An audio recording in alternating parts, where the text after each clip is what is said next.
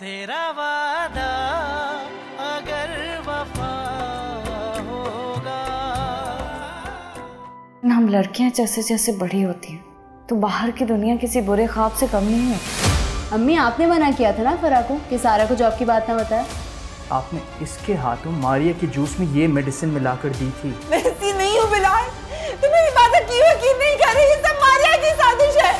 अगर आपने दोबारा ऐसी कोई भी हरकत की ना सैम तो मैं भूल जाऊँगा कि आप मेरी बहन देखते देखते आ गया पी एस एल नाइन।